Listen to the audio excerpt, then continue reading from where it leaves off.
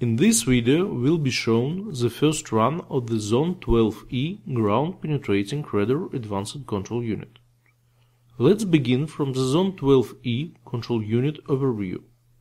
Control unit contains front panel, adjustable notebook computer platform, and Wi-Fi antennas under protecting cover. There are different controls and connectors on the front panel. Fuse, Wi-Fi toggle switch, power toggle switch, Ethernet connector, power connector, first antenna channel connector, and second antenna channel connector.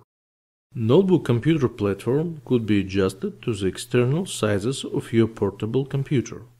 All parts could be adjusted by the screwdriver. To adjust corner brackets, completely unscrew movable strip and on strip's bottom side unscrew by one and a half turn corner bracket screws.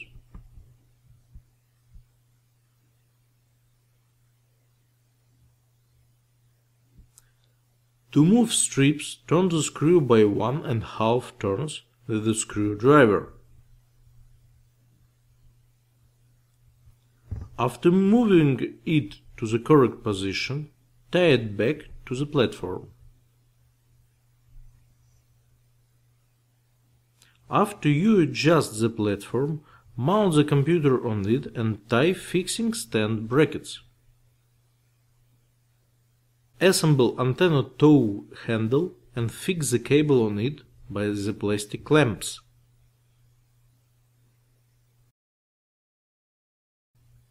Use laser straps for control unit mounting on the operator's chest. Please note that any manipulations with connecting the cables should be done while control unit is switched off. At first, the survey wheel should be connected to the antenna if you are planning to use it. To mount the survey wheel, insert its dovetail to the antenna wheel bracket and tighten it.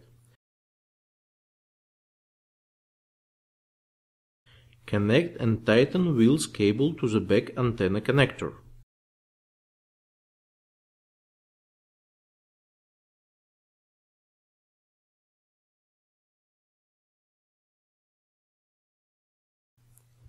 Connect the tow handle to the bracket at the antenna's front. Connect and tighten main antenna cable connector.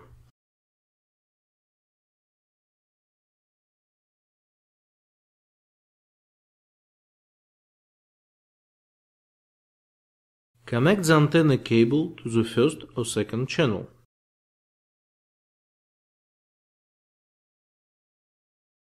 Connect Ethernet cable to the control unit and computer mounted on it. Mount platform to the working position. Turn the control unit and the computer on. Run the acquisition software and set up the GPR. Now you are ready for the first profiling.